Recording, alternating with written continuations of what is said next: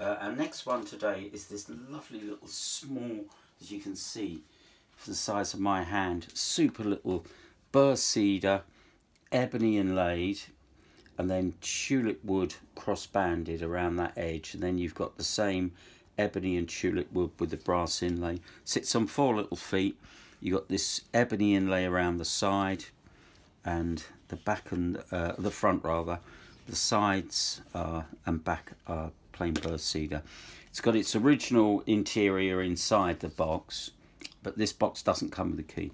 The lock is not working, but a very cute little box. Thank you.